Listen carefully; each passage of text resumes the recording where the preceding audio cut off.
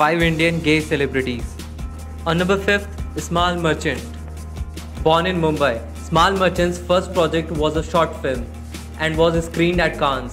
At the same time, he met director James Ivory and together established a production company.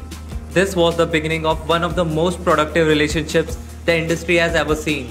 The Merchant Ivory partnership produced nearly 40 films and won 6 Academy Awards. Though they never came on the record about their relationship, there was a certain understanding about it. Especially when, after winning Oscars and BAFTA for A Room with a View, they instead took a risk and made Maurice, a love story between two gay men.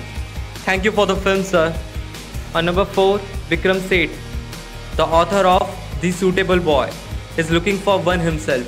The Indian author, whose second novel put him on the list of literary luminaries, is frank about his sexual identity.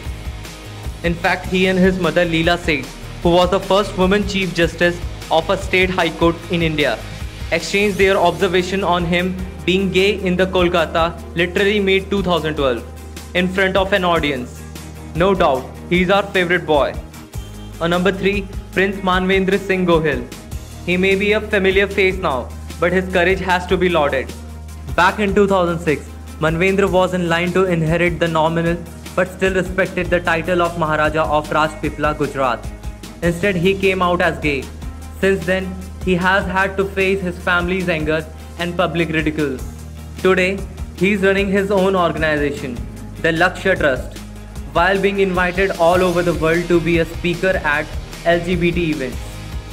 On number 2nd, Apurva Asrani.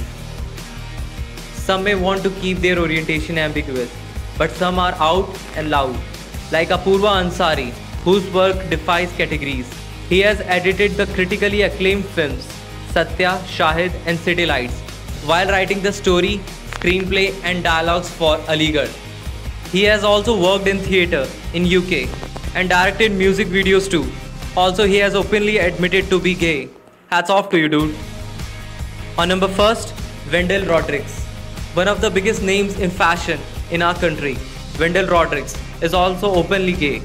But the fact that a person's sexuality has no bearing on his or her talent was proved by the government itself. This happened when the designer was awarded by Padma Shri in 2014. In 2002, he married Jerome Marrel in Paris and they have been together ever since. Thanks for watching. Hit that like button, leave a comment and don't forget to subscribe for such amazing videos.